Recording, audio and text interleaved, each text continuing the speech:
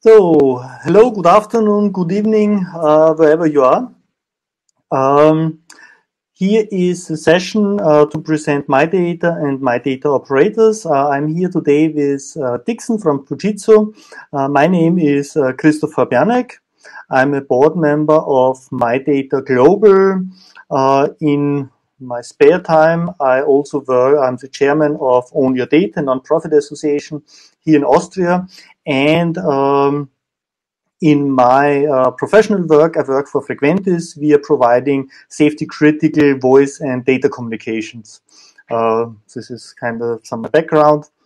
Uh, very glad to be here. So far, I see, I think we have five people in the sessions. Uh, just want to mention, if you have any questions, please at any time, uh, feel free to interrupt me, ask questions. I think it's quite nice to have a small group. Uh, if it is possible, please make it kind of a conversation. And otherwise, sometimes I tend to talk for hours and uh, feel free to interrupt me.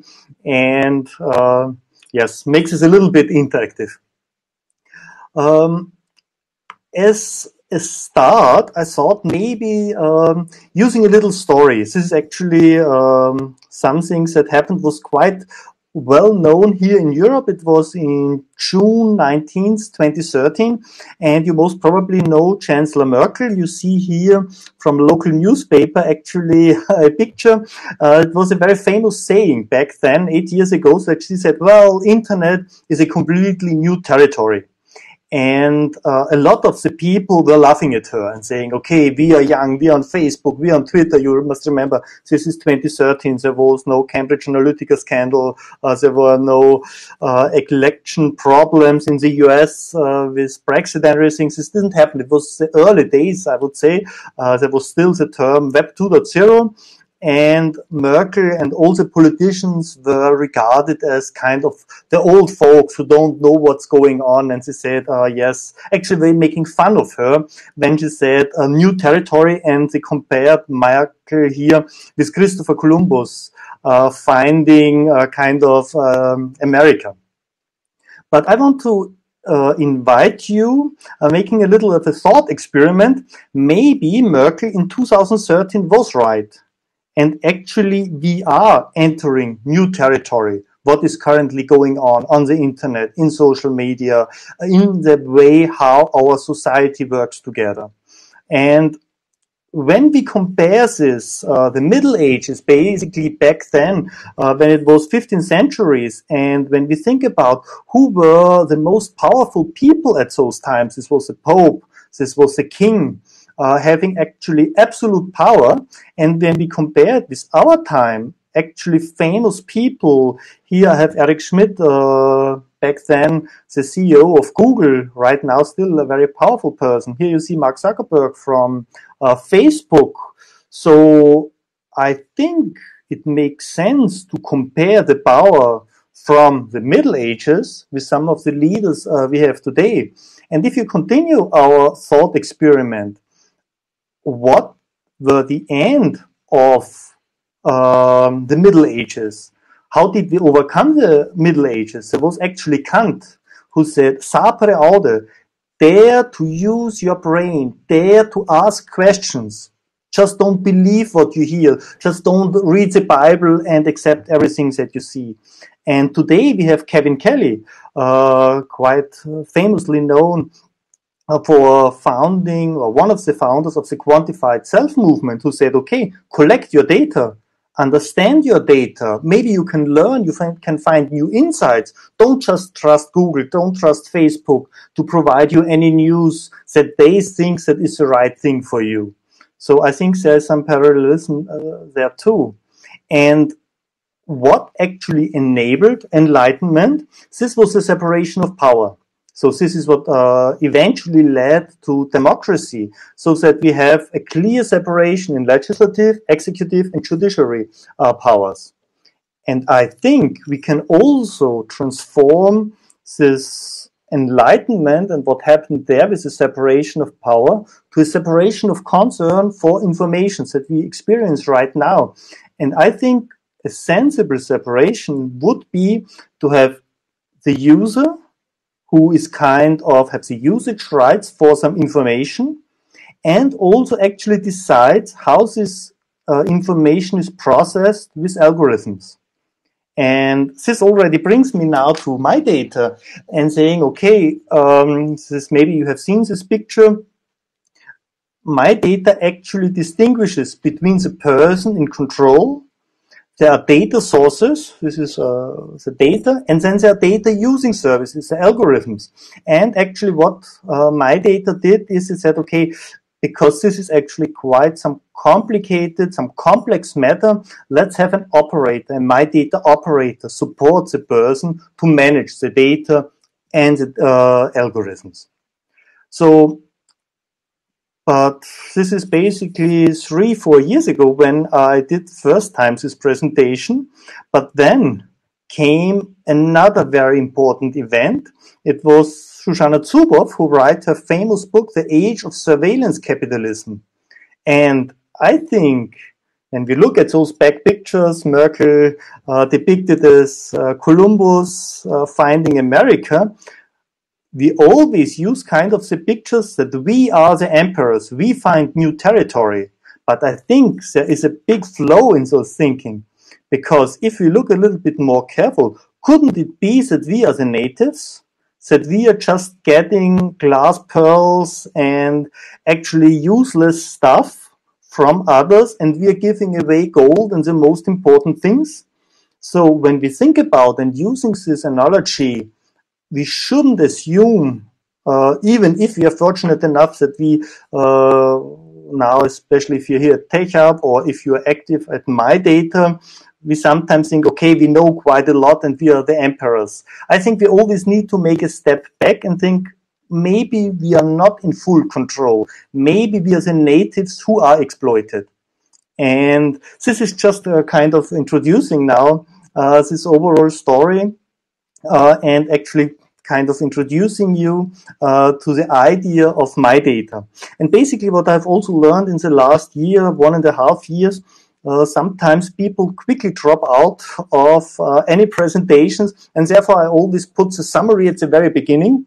And uh, what actually, if you want to take something with you from this presentation, it should be uh, a short message about My Data. My Data is an international organization that started less than 10 years ago and is really about a human-centric approach on personal data management. It started as a research project around 2013, 2014. And My Data become really an essential building block for a fair data economy. There will be now subsequent slides where I talk a little bit more about it. But the important thing is really this balance between the individual rights of the of a person, but also actually looking at companies providing services based on personal data and companies being successful in providing this data. So uh, this is this talk mainly about. Hopefully this wasn't a too long introduction and still no one uh, in interrupting me. Um, but this is basically what uh, Dixon and me are going to present in the next 15 minutes. Okay, talking a little bit in more detail about my data. Well, my data is about a human-centric approach to personal data management. What is this? Um, imagine you as a person that you can sure that you can be sure that the data that you using that you have access to makes your everyday work easier, that you can really be empowered and have the freedom of choice that it's not others having your data and actually manipulating you, but that you're empowered as a human. And finally, that you can also trust when you work with your personal data that it is used in an ethical way. This is kind of the background where we as my data really see a human not being a little cog in a big system, uh, but actually the human in the center benefiting uh, from all the data that is available. Um, in a nutshell, this is really about the control of data. Later on, we will talk about data sovereignty. So basically, uh, we have to exist the fact that we are now in an uh, information age we generate a lot of data. We have access to an enormous amount of data. But the important thing is that we use um, our data in a careful way, in a sensible way, and actually also strengthening the digital human rights. So we have those human rights that you all know. And I think it makes sense to also now talk about digital human rights. We have now kind of an in the real life, our world, but more and more we also spend now, like we do right now, uh, kind of a virtual, a digital twin of us. And how, there should be also some kinds of digital human rights there. And this is important actually uh, that this is not just about people, but also organizations. And we also should enable those organizations uh, to develop innovative new services based on those personal data. And my data actually provides a blueprint with these uh, six principles of the uh, My Data Declaration, how this can work. I already mentioned this, uh, so there's always, and I like this a lot about my data, this dualism. On the one side, it is my data is about people getting value from the data. And on the other side, it should be really about organizations and the ethical use of the data and making the use of data the ethical use of data is the most attractive option.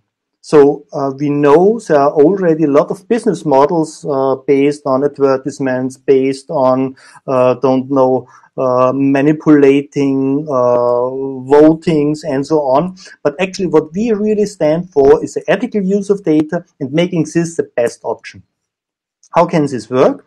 We have those three pillars. There's a very nice uh, strategy, the My Data strategy, in very much detail if you go to the My Data site. But basically, it is on three pillars.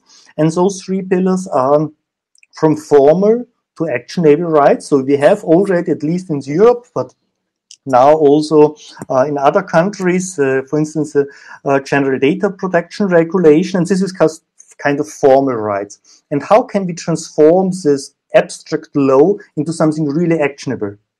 The next thing is from data protection to data empowerment. So we don't want to just have our golden cage and we are just protected and everything is taken care of. But actually we want to empower the individual, but also the organizations to actively use this data. And what we also uh, really believe in that this will not work within closed ecosystems, but in open, open ecosystems, open data, and actually also open source software. Um, this is not something that is just in some little rooms like I'm sitting here right now or some obscure places somewhere in the world, but actually uh, my data is being adopted and is highly relevant on local level, on the national level, and also regionally. There are some examples here. For instance, the city of Helsinki, uh, I read about a very nice example where they said, okay, previously for uh, child care, it was that they sent out letters and uh, for small children coming to the kindergarten. And this was a process of which child is going to what kindergarten, how long it will stay, what uh, lunch meals are selected and so on. And this was a process that previously took eight weeks. And then this was changed to SMS. And basically, they just sent out SMS to all the parents. And they had what previously took eight weeks, finished, I think, 95% of all the responses within two days. So, and how this can be implemented also in a fair and um, privacy preserving manner was a very great use case and this is actually already used. Maybe you have heard also about the European data strategy there. My data is uh, explicitly mentioned as an example how personal data management can work and should work under uh, this new European data strategy. It was also quite important, my data in the uh, Finnish presidency of the European Union, and there are also some other examples, and you find actually uh, quite a lot of information also in the news. Here is short uh, information about also my data, how it developed over time. So there was in, actually in 2014 when the first uh, white paper was published. I think another big milestone was in 2016, the first My Data conference. 2018, uh, the International Nonprofit Association was founded. And yes, 2020, of course, we were also hit quite hard uh, with the COVID outbreak and had uh, end of 2020 the fifth My Data conference who was held completely online. Uh, My Data Global is also an ecosystem builder. Um, talking a little bit about numbers, yes, I already mentioned we are an international non-profit organization headquartered in Finland. Uh, right now, we have about 500 members in over 50 countries. And the important things that I already mentioned, we have this, you can either be a member as an individual or as an organization. And we currently have about 100 organizations joining, having already joined My Data, being active. Uh, we have also local hubs and uh, thematic groups talking about this in a few moments. And of course, what My Data is very well known are the My Data conferences. And I think the next conference will be um, next year. Uh, 2022 will be the next, hopefully, if COVID allows, the next big My Data conference. Here you see, uh, I'm not sure if it's all, but many of the organizations uh, that are members of My Data, you see here Fujitsu, and also here's a small own your data logo. Uh, and it's yeah actually really organizations from all over the world uh, joining my data. Maybe it should be we should talk also about if we shouldn't have a TechUp logo somewhere here.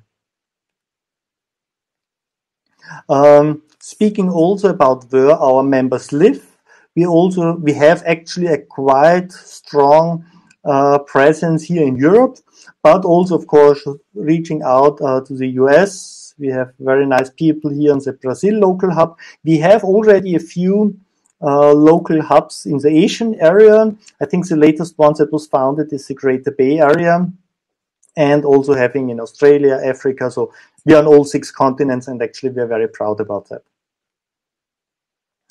Um, how we are organized, I already talked about the local hubs. There is also actually thematic groups focusing on specific topics uh, and working together on those topics. For instance, there's a My Data Health group.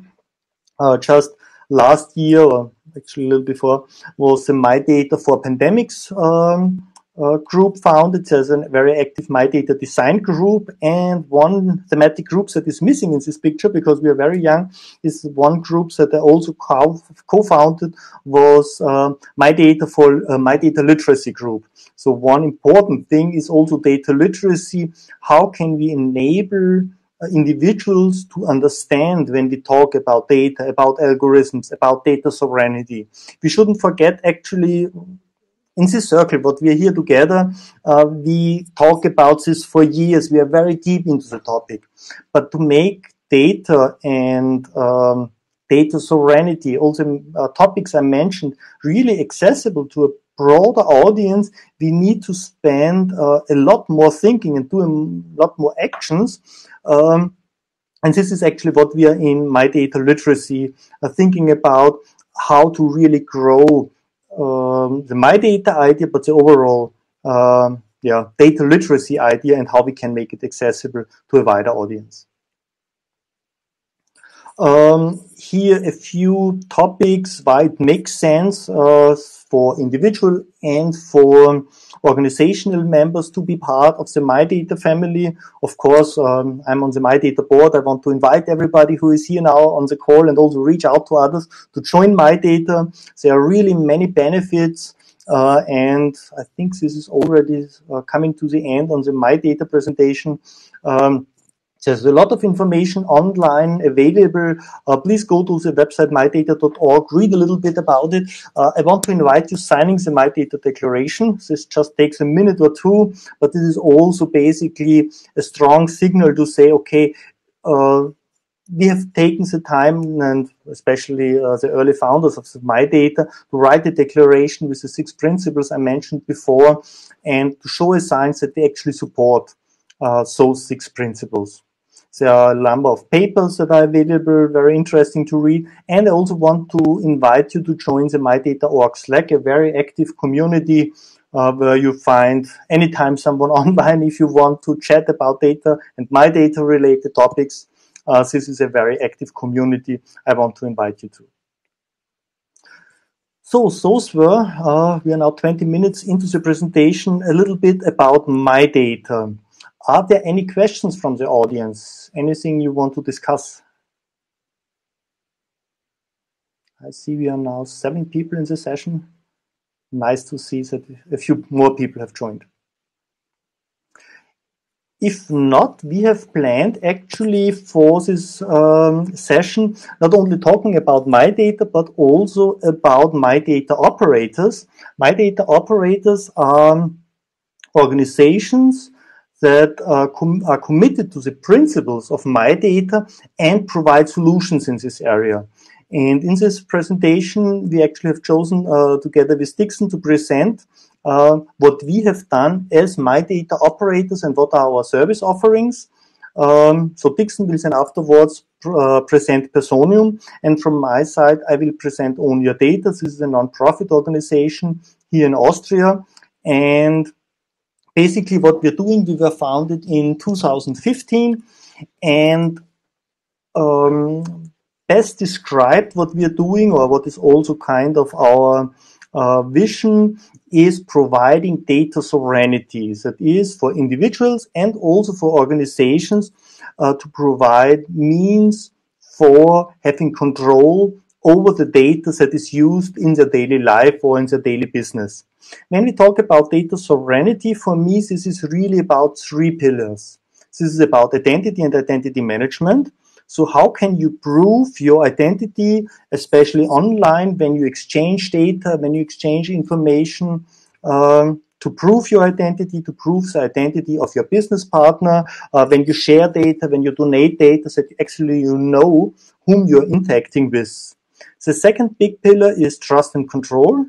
How can you trust when you interact with someone, what technical and non-technical means are available, and also what measures and what control mechanisms do have available uh, to verify this. And a topic that is actually uh, also quite important for me is linked data.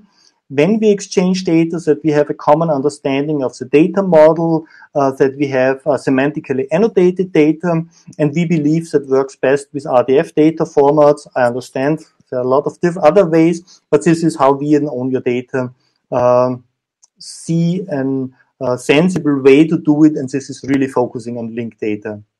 For all the solutions we have, we have here uh, our key characteristics, so that uh, the solutions we provide are provisions, that is, uh, they can be hosted somewhere. Everything we do, we um, provide via Docker containers. Everything very important is under the MIT license, uh, license we develop. So this is completely free. If you have a business, you can include it and even use this commercially. Uh, no problem with that. Um, we believe in a decentralized approach in developing our services uh, the fair data approach so that every data is findable, accessible, interoperable, and reusable. Composable. Uh, if you work as a data engineer or a data scientist, you know you have actually quite a lot of different pieces. How can you uh, fit those pieces together, compose bigger uh, processing pipelines? Tradable, actually, we have uh, solutions in our portfolios that you can buy and sell data. So if you have certain data sets, we did this, for instance, uh, for weather data, uh, out of the box that you can sell data, have a complete billing workflow. And uh, last but not least, everything we do is standards based. So we spend actually quite a lot of time looking what standards are out there and how, and to want to make sure that really our products and our um, software developments are based on generally agreed standards. Um, talking about, so this is what is kind of how we want to do it, what is now really available. There are four products I want to mention. The most important, or where we spend actually most of the time, is uh, called semantic containers. This is a technology for secure and traceable data exchange. So if you have two parties being just individuals or also companies, how can those entities exchange data in a secure and traceable way? Another one is also a free service. This is a data vault.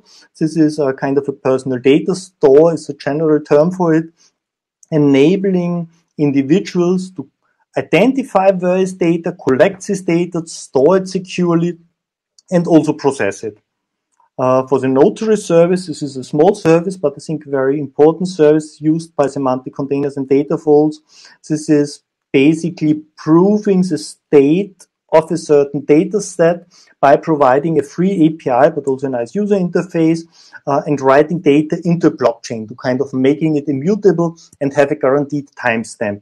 And we are not only using actually blockchain technology, here we're using in the backend Ethereum, but also uh, eIDAS conform. So this is uh, legislation here in Europe to create what we call uh, trusted timestamps. And this is something, at least for the European Union, this is court proof. So if you have a trusted timestamp for a document or so, this is something that needs to be accepted uh, in court. Um, and this is actually quite important. So we found out we had some legal advice. It's not enough that you have, for instance, a hash, for instance, a hash value stored on a blockchain. So it could still be problematic because still for court and for law people, this is kind of new technology, but trusted timestamps, this is really uh, conforms to European legislations. Also a technic, uh, technological way to prove that a certain document was in a certain state at a certain time. And this is a free service that we provide this notary service. And then also last but not least is the weekly digest. I mentioned this. This is uh, something that came out of my data where we provide weekly information about what's going on in the personal data management world. Uh, it's usually four, five to up to 15 news stories that we collect on a weekly uh, basis and make available. Um, just now a few more slides and then I'm already coming to an end. Uh, to, so one slide per each of the technologies.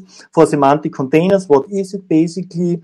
It is kind of a package. So the package, what we use is uh, some Docker containers. And within this Docker container, we put data, a semantic description of the data, but not only of the data, but also how you're allowed to use it, so-called usage policies. We also put in the provenance chain, the complete uh, machine readable description, what is the data history.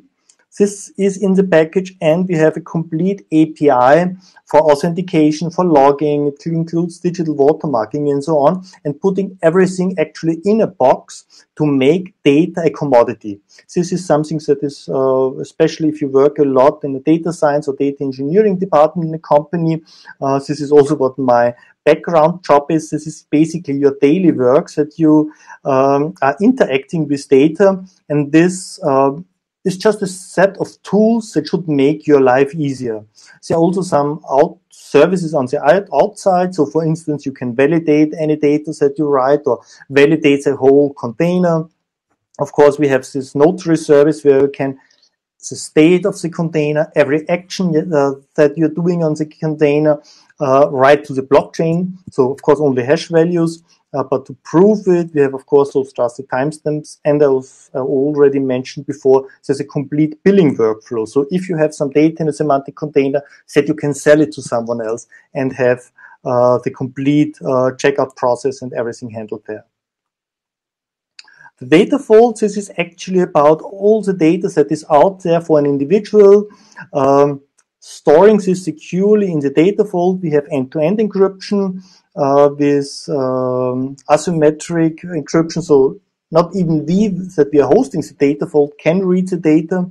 And also you have plugins in your data vault, uh, kind of gaining insights from the data uh, that you have stored there.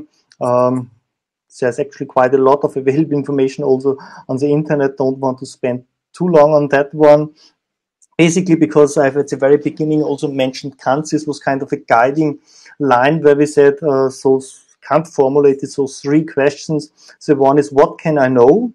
And basically with all the data that we have available right now, it is actually really a lot that the individual can know right now.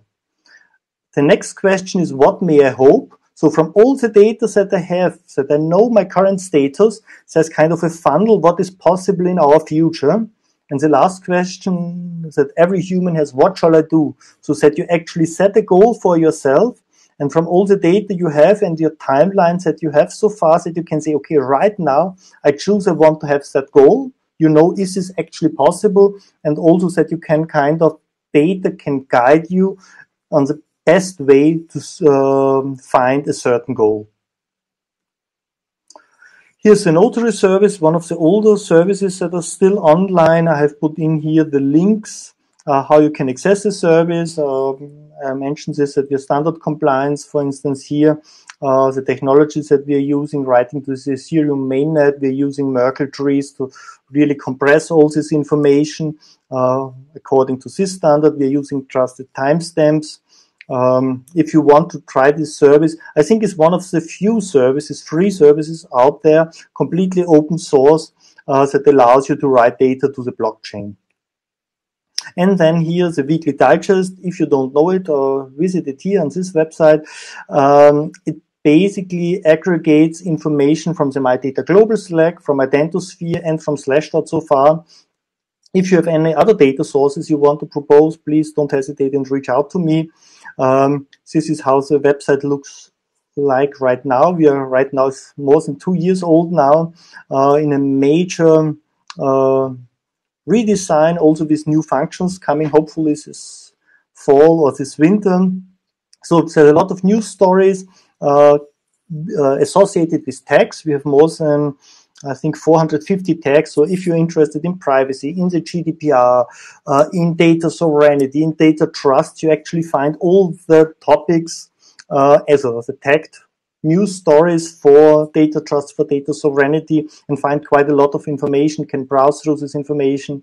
You know about the author of this um, news stories. You can, your, everything is linked to the original discussion so that you also get more of the context. And here you see some stats. Currently, we had about uh, 1,000 unique readers of each weekly digest issue. And we have on the overall website, weeklydigest.ownyourdata EU, 3,000 unique visitors uh, every week. So this is actually quite nice after two years. And we have quite some audience who seems to value this information uh, and we're actually quite proud of uh, providing this back to the community. And then finally, I want to add uh, one piece that I've spent the last few weeks or months a lot, that we are currently developing our own uh, DID method.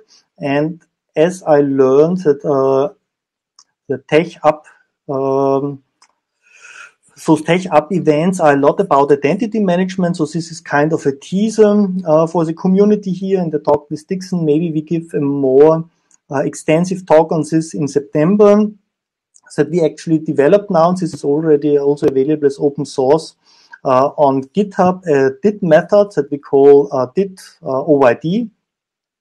Um, and some of the challenges, and we work actually a lot with identity, is um, when you maintain a DID method on uh, and distributed ledgers on a blockchain. This is actually quite a lot of resources to maintain this information. And sometimes you have just data or when you have service endpoints, you say, does it really make sense uh, to spend this effort and store this on I don't know how many hundreds or thousands nodes?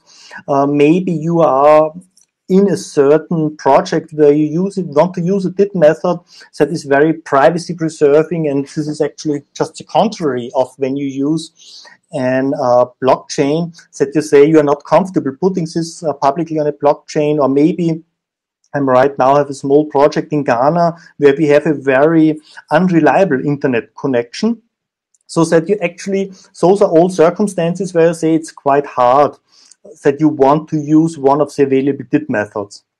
And basically we come up uh, with uh, an, another approach that using is completely conform to the W3 DID standard.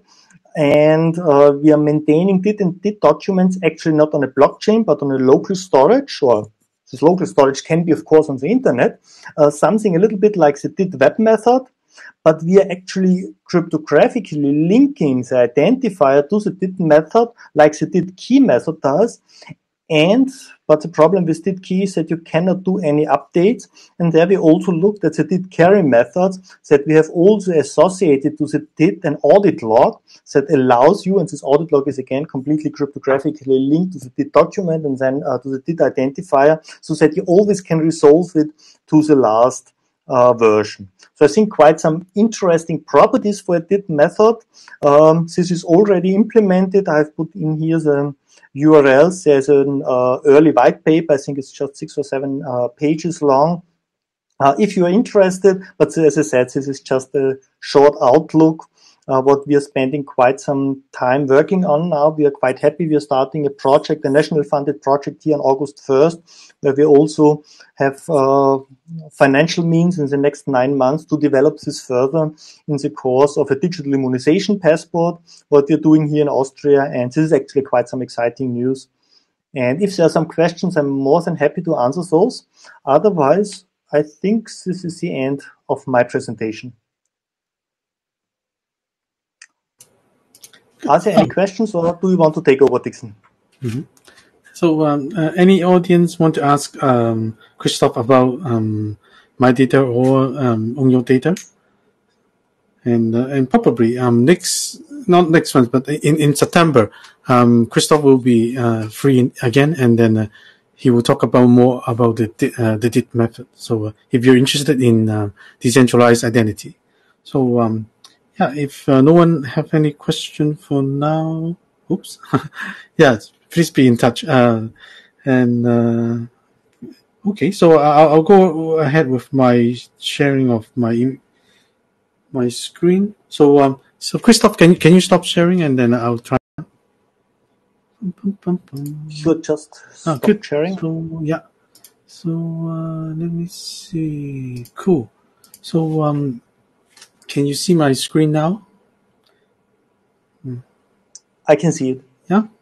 Okay. Good. Great. So uh, yeah. Um, so uh, co- to continue the uh, the the third um, the, the other half of the uh, uh, presentation, um, uh, we will talk about um, what's Personium in overview, and also I'll give you a short demo of what I've been working on myself. So um, please bear with me. So I, am Dixon Siu from from Personium project, which is an open source and the only open source uh, personal data store platform in Japan. Uh, you can have different open source like OwnYourData in the world and uh, in some other places, but um, uh, within Japan, with my own knowledge of um, um, with all the big enterprise uh, like Toshiba, uh, Fujitsu, and, and um, Fujitsu is the only one that produce open source for the personal data platform in in in the, in this area. So um, I'm the chief ev- evangelist in this uh, project, and um, if you want to check out what what I've been working on for for my uh, for, for my for or for um, uh, for Personium, you can check out my uh, uh. I've been playing around with the Miro bot, so you can check out the uh, self introduction too. Uh, and if you want to um, get in contact and ask more about uh, what what Fujitsu project is with the Personium, then uh, you can contact me through uh, the LinkedIn or um, uh, Twitters. So uh, yeah, so t- this is because uh, last last week, uh, not last week, in April, I already talked about um, my data and operators. So this time I'll make it short. So I'll just give you a very very uh, not over overview of Personium. Sorry for the wrong spelling. And and the logging daily activities of my own uh, personal data. So I'll show you that later on. So um, yes, Personium. Uh, how how is it different? Because uh, we, we kind of like start the project in uh, more than 10 years ago. And then as you can see uh, uh, in, in this three layer structure, um, we, we kind of separated into the unit, which is the, the server, and then the cell, which is the, um, the data store, the data store um, for the single user or, or, or, organization. And then within that cell, you have different kind of boxes that can hold different kind of data. So um, we call it box. So um, basically, um, if you're quite familiar with uh, personal data or, or the latest uh, Tim Berners-Lee's uh, Solid, then you'll find it it's quite similar to, to Solid. And then we're kind of proud of it because uh, Solid only worked on it for a few years, but uh, we kind of developed it in the Fujitsu laboratory in uh, more than 10 years ago. So uh, we are the first one who, who has this idea of um, doing personal data store in this kind of uh, three, three different layers level.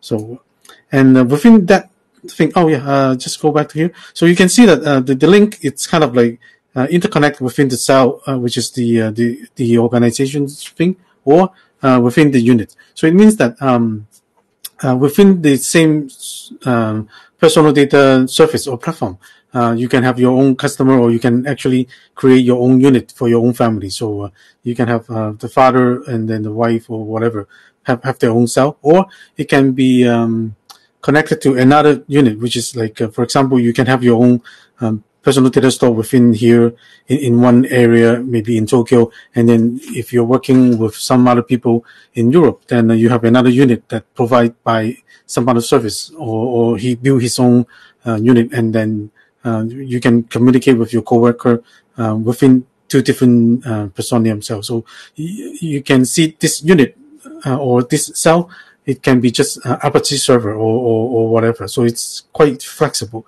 that how you can interconnect uh, with other people, not in your own organizations or not in your own domain.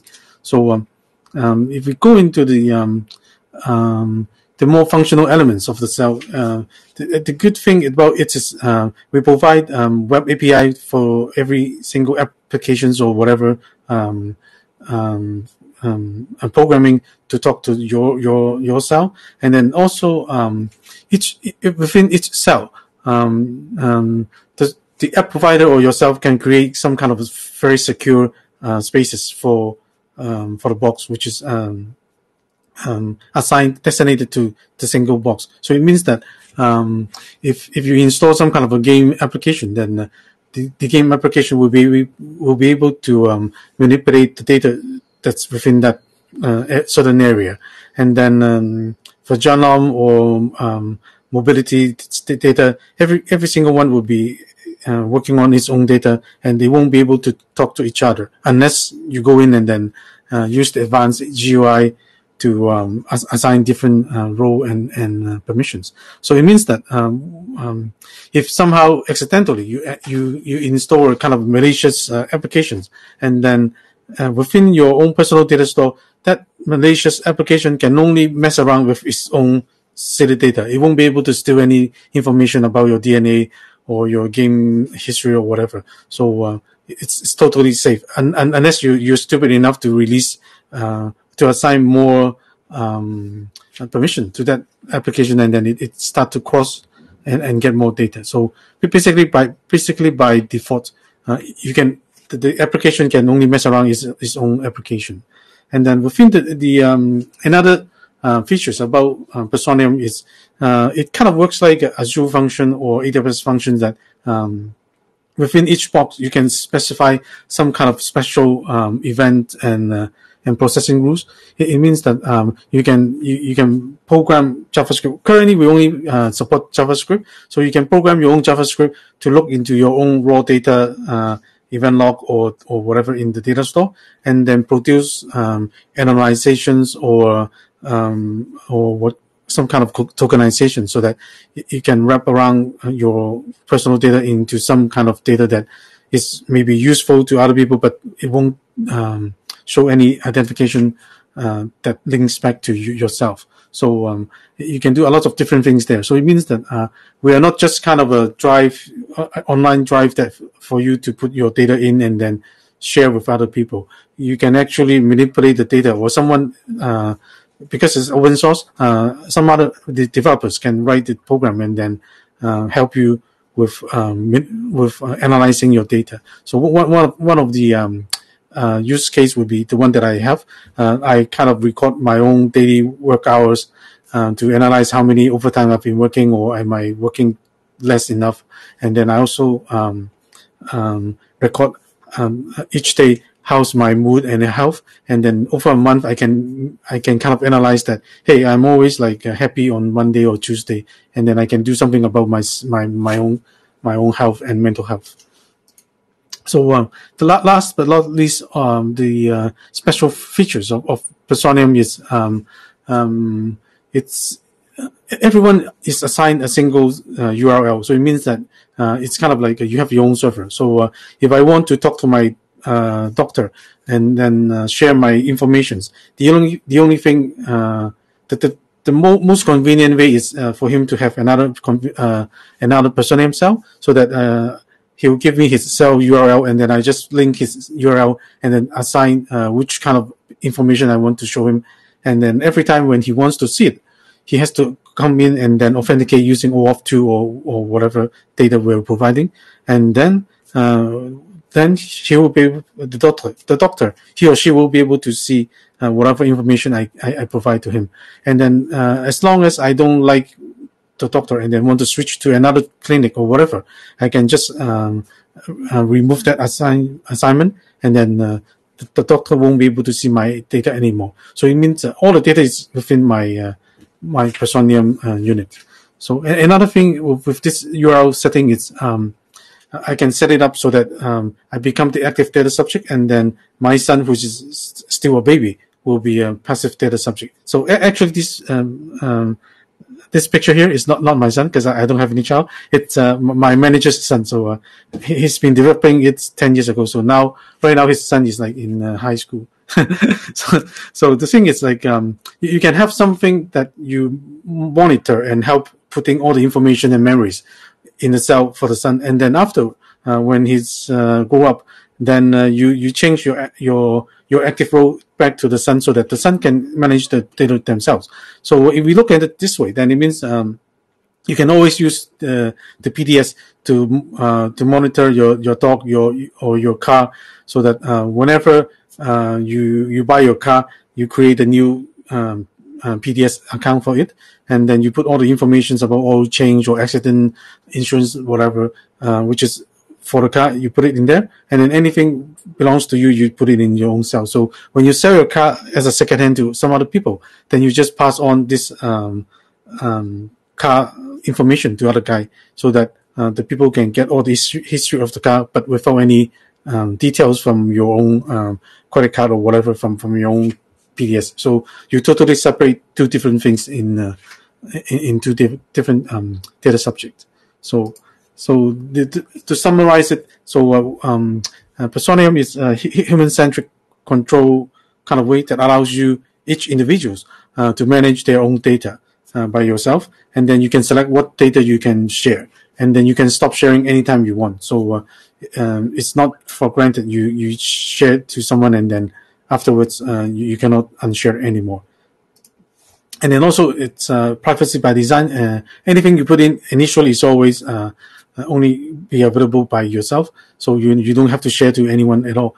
And then um, uh, and also uh, since all the data is in, within yourself, and then as I as I said uh, explained earlier, you can have your own um, engine script that uh, JavaScript to, to write and then manipulate with your own data. It means that uh, you can always borrow some other people's um, personal AI programming and then put it into your own you put it into your own PDS and then um, evaluate it and cross-check your personal data privately. So that it means you don't even have to share your data to someone else. So it's some kind of a, a form of uh, edge programming in, in, that case.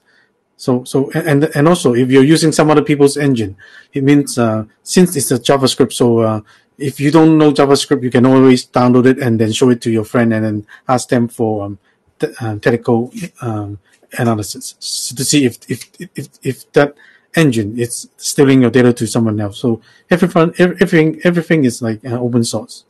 So uh, uh, last one of this uh, special thing, it's like um, it's uh, permission and transparency, and uh, like like I just I think I just said it's you can choose who to share, so it's quite transparent. And then when you share, it, it's like it can be read only or, or write permissions, and then here you also select anywhere um, a file or or, or uh, some table, um, whatever uh, you want to share. So um, to and it's short uh, before my demo. Um, actually, um, in in Fujitsu, we, we kind of like uh, work. Uh, they uh, we provide this platform and then to help people or the economy to to to to um, over, overcome their obstacles in different areas. So in public healthcare, finance, and everything. So um, from from 2011, uh, we are doing a lot of POC, but since uh, the economy, I think uh, globally, is still not quite sure how to use uh, the um, the personal data store. So uh, it, we're still looking for some permanent service. So if you're interested into what kind of service or, or POC that we are working on, uh, you can go to the uh, Personium Projects English, and then or you can just ask me, and then we, we can talk about it in, in any other off time. So um, one of the things that uh, I think it's good for using this PDS is like, uh, uh, for example, you can have a um, government portal that uh, you uh, you just put whatever information once in there, and then afterwards, if some guy from uh, the housing center or housing officer that you want to share your, um, you want to apply for some housing um, allowance, then you just share your um, identification, your family structure, and then your address to, to, that officer. And then if you're uh, if you're filing your report for the uh, um, taxations, then uh, you don't have to rewrite the whole information again. You just kind of share whatever is inside your PDS, uh, like the PDS, uh, like the uh, identifications and the bank only. So you, are sharing the same ID, which is from the same uh, uh, data store.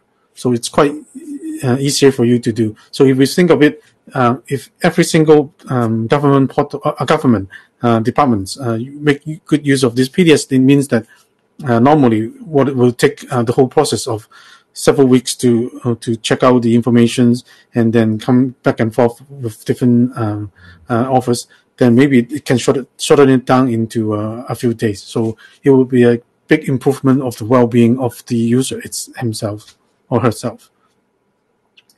And uh, yeah, and also um, if, if, you're interested into European um, going, um, um, um, actually we, we kind of provide uh, the PDS solution uh, as an options options to the uh, Helsinki project. So uh, if you want to know more, you can ask me or check on the my my uh, CDS my data operator project from the internet. So you, you will be able to find my Medium um, blogs.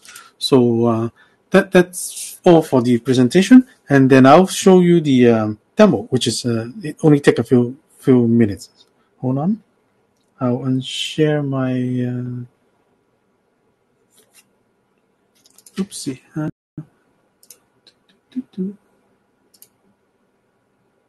so I'll share my application. So uh, I, am not a very good programmer, so bear with my uh, like city uh, CSS or Bootstrap. So so as you can see, um, I, I create my own um, PDS under uh, my data Asians. And then this is my my PDS, and uh, it's called PDS. So uh, um, in, in Personium, we support uh, Google login, so I can log in directly. Um, since I already have the the token for the uh, um, my data my data Asia um, global. So so in here I have my own um, dashboard, kind of like the the phone dashboard. And then uh, recently I've created my own live log. So um, I'll show you how it is. So basically uh, in here I will be able to see my list of work, uh, how many how many hours I've been working and then uh, how many uh, in my daily daily mood. So sometimes I'm happy and sometimes I'm energetic, and but someday I'll be kind of like in, in the middle. So here I, I can see whatever I have. So um, um, when when I try to share it to public people, I can share it uh, with whatever I, I select. So it means that uh, if I give them this URL, uh, they will be able to see um, several of the things that I open up for them. So you can see this. Uh, uh, right now, I didn't print out. I, I, just put it as a JSON JSON format. So uh, in here, you can see that the first three of them is open, and then the, the, the fourth one I didn't assign it to them. So it means uh, when they try to access it without any tokenizations, then uh, it's it asks it's saying that it's uh, authorization required. So um, if I want to release it to the public, then uh, I just go to my my advanced um, GUI, and then uh, so basically it should be able to uh, do it more more simply. But um, uh, I'm just using the, the, very basic API to to uh, do this. So uh, uh, you can always do it much easier. So I go to the file, and then I think the fourth one is here, which let me see this one.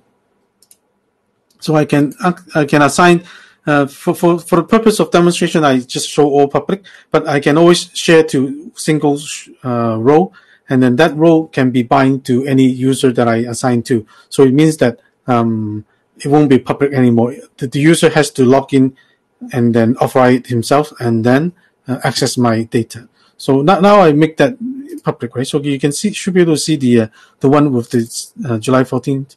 If I reload it, uh, it becomes available. So that that's the thing, uh, the basic things that we have for for Personium as a as a uh, things to to to uh, record your own data and then and then um, share it with anyone else. So uh, this is one of the um, uh, the screen that I create my own um, data.